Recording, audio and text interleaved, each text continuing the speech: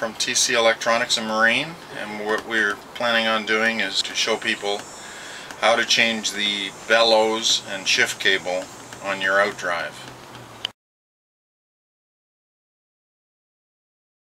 Put the shifter into forward gear all the way.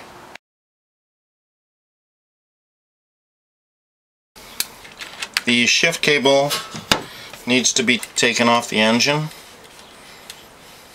and disconnected.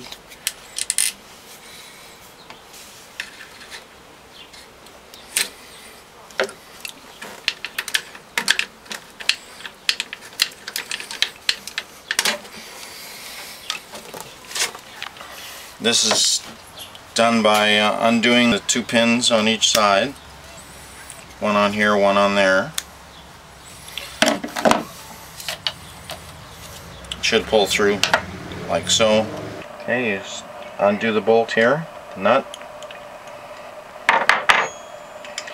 And this should unthread and it simply pulls out so that later we can pull a shift cable through.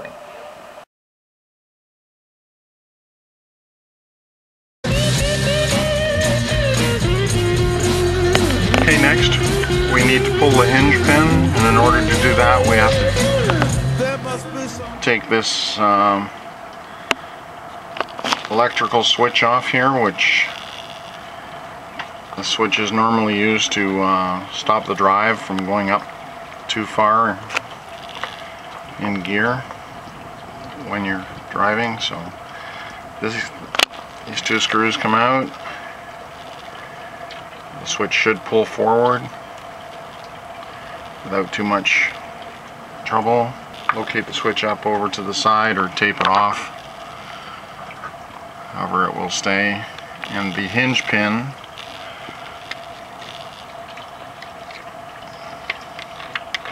will slide into this area here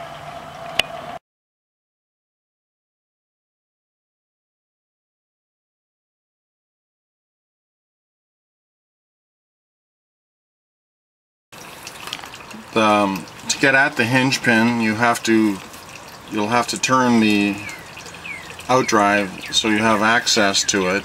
And then this is a hinge pin tool which can be purchased from any dealer. Um, this is the hinge pin in here. And you'll need a wrench.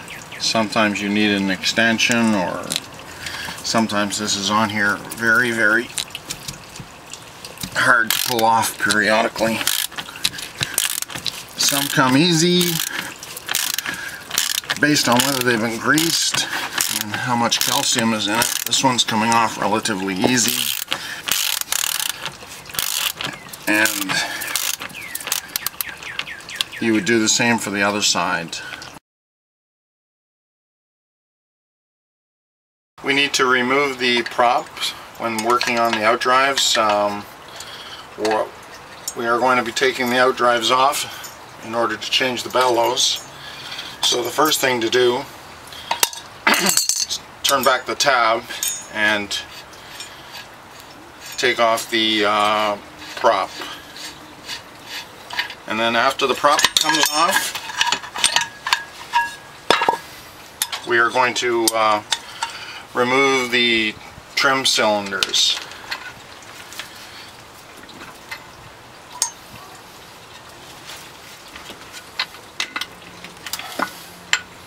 And you're going to need something to support the uh, the drive because it's going to slide down when, once you remove the trim cylinders.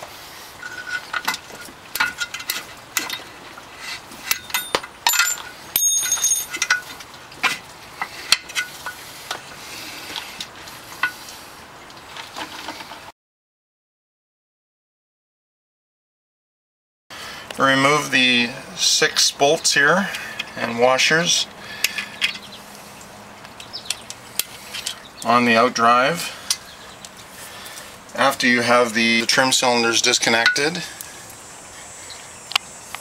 and remembering of course to make sure that you place the um, gear shifter in the forward gear position before taking the outdrive off.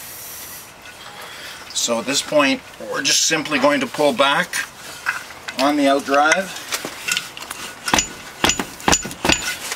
and pull the outdrive back slowly.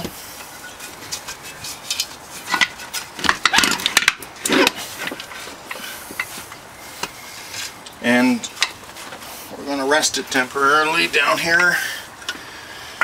And we're going to put drop the trim put the trim cylinder straight down on both sides.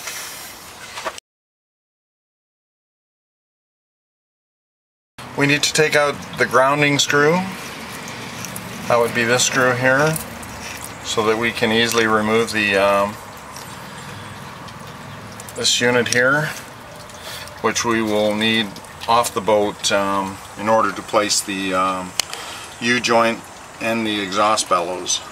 We're going to put that on this piece here first when we reassemble it, so this needs to come off. And the shift cable will will pull through.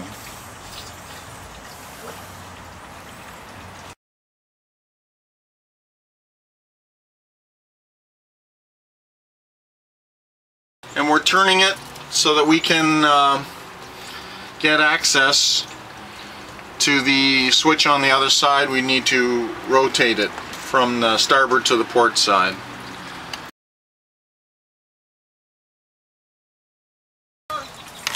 In order to take these screws out your best bet is to put a Phillips screwdriver in tap it down slightly then twist it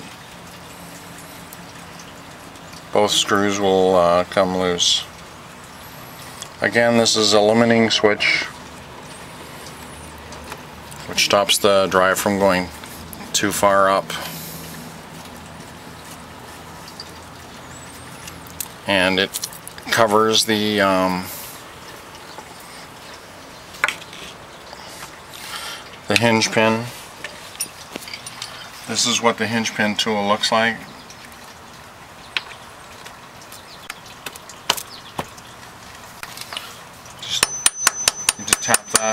So that you have as much area as possible of the hinge pin, the whole, the entire spline in the unit, in the hinge pin itself.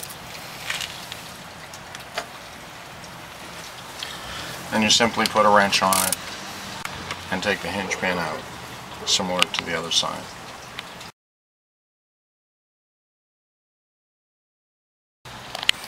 This is a flexible snap-on quarter inch drive unit. Um, the number on the snap-on tool is 7M6A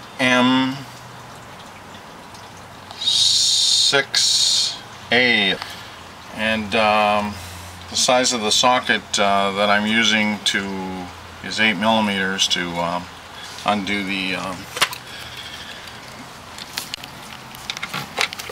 water pump clamp here simply put the water pump clamp in there, hook it on, and it makes taking this water pump uh, clamp off.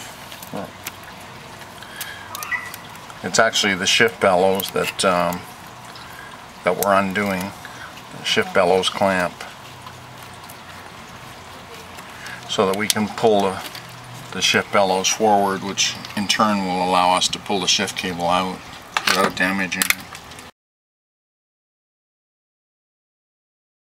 This is the um, shift cable I'm taking off, or the U-joint uh, clamp with the same um, tool, snap-on tool. And doing this uh, without this particular tool would almost be impossible. And that's um, that's that one loosened off as well.